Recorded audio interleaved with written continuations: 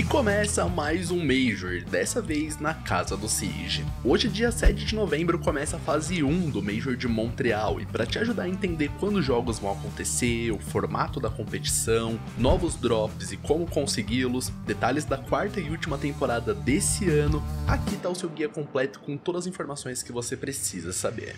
Só que antes, claro, atualizações semanais. A começar, devido a problemas que aconteceram no segundo teste do Seed Cup, a Ubisoft forneceu 5 mil moedas competitivas para todos os jogadores, até os que não estão inclusos no beta. O que quer dizer que você consegue desbloquear agora algum amuleto da coleção ou comprar um pacote competitivo pela primeira vez e tentar a sorte para conseguir algum item melhor, como foi o meu caso que eu tirei o único item que tinha me chamado atenção, com o uniforme lendário da Zofia, irado. Outra coisa que aconteceu recentemente com um patch que foi lançado foi a remoção de um símbolo no uniforme do Doc da Dark Zero. A Ubisoft removeu ali a cruz vermelha e colocou uma seringa no lugar por causa de uma regra do G20, que considera usar esse símbolo em confrontos um ato de guerra. E a Ubisoft, como não é boba nem nada, alterou esse pequeno detalhe do Doc, que é um curandeiro de guerra, né? Não é a primeira vez que eles fazem isso, na época da treta que teve lá com a Rússia, eles alteraram a badge no uniforme dos operadores russos para evitar qualquer tipo de problema também. E uma notícia que talvez anime muito de vocês, a plataforma de cheats chamada Clara foi desativada no Seed. Os responsáveis por essa plataforma informaram os clientes idiotas que os cheats deixariam de funcionar no R6, e isso se dá graças às atualizações que a Ubisoft vem fazendo e também com alguns processinhos jurídicos que esses caras vão enfrentar, né? De fato, isso daqui não soluciona o problema de cheat num todo, nunca será um checkmate, infelizmente, mas uma plataforma tão conhecida como essa ser desativada é uma grande vitória pro Seed e pra gente que joga principalmente. Mas agora bora lá falar do Major de Montreal. A começar você já consegue fazer os seus palpites dos placares e resultados do Major. Agora a fase de play-in já foi, porém você consegue preencher as primeiras equipes a vencerem as partidas. E mediante mais e mais acertos você vai conseguindo na plataforma, você recebe recompensas dentro do jogo, como Alpha Packs incomuns, raros e épicos, e com 25 acertos você recebe o passe de batalha da quarta temporada de graça assim que ela for lançada em dezembro. E com 31 palpites confirmados você recebe recebe todas as recompensas anteriores e mais 5 Alpha Packs lendários, totalizando assim um passe de batalha premium e 22 Alpha Packs num todo. Claro que não é fácil você acertar 31 palpites de um Major, muita coisa pode acontecer diferente do que você esperava, mas para aqueles entusiastas do competitivo fica aí um desafio. O link da plataforma vai estar aqui na descrição do vídeo para adiantar a sua vida. Agora passando para a parte dos jogos, começou hoje a fase 1 do Major, onde 8 equipes vão disputar para garantir um lugar nas 4 vagas para a fase 2. Ou seja, nessa etapa metade das equipes voltam para casa e as demais continuam.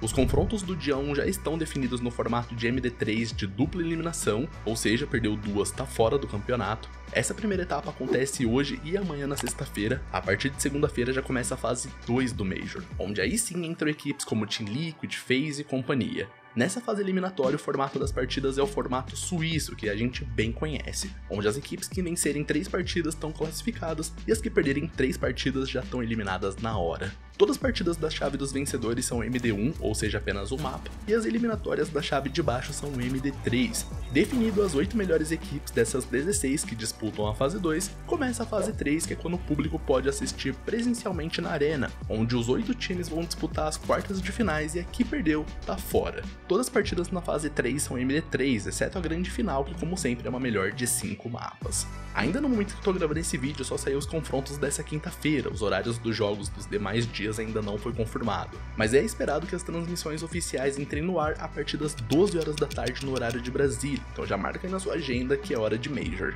Falando de atividades no evento, de 10 a 17 de novembro, as skins de time da RC Share entram em 20% de desconto, o que somado com um passe de batalha te concede um total de 30% off no valor das skins, o que é bem útil antes das novas skins serem lançadas na Season 4. Que já falando dela, o painel de revelação da quarta e última temporada desse ano, como já foi falado aqui no canal, acontece dia 17 de novembro no domingo, durante a grande final do Major de Montreal. E como sempre, podem esperar por vídeo cobrindo todas as informações e mudanças da temporada temporada, naquele estilo que vocês já estão acostumados a receber aqui no canal. Agora falando de drops, que é uma parte bem requisitada pela galera, esse Major de Montreal adiciona 29 itens na coleção dos Sports Packs. Dentre esses números tem headgears, uniformes, skins de armas e amuletos pro Flores, Finca, Termite, Nuke, Maverick, Capcom e o Castle. Inclusive uma mancada da Ubisoft foi ter anunciado que a skin do Major para o MP seria exclusiva para quem visitasse o Major lá no Canadá. E agora eles mudaram a narrativa e eles vão liberar também através dos drops, o que particularmente foi sacanagem com o pessoal que vai estar tá no evento, né? Mas enfim.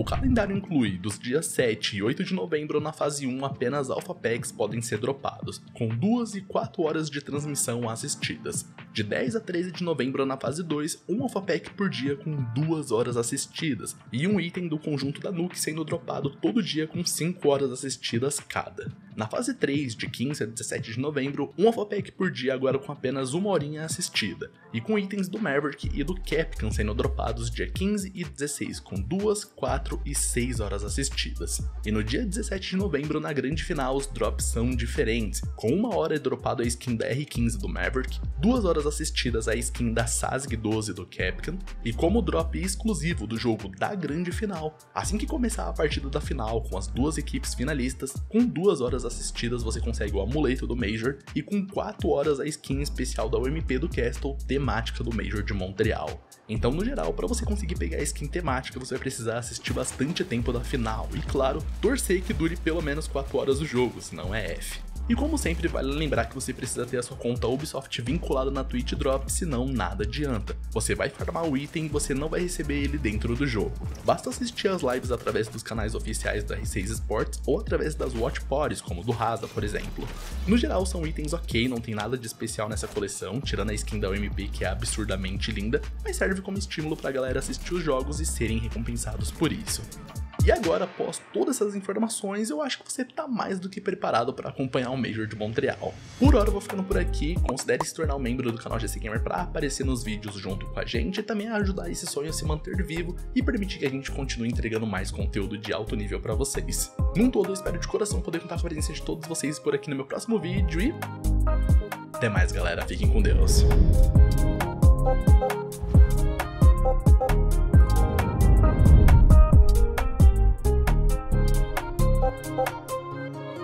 I do smile from you.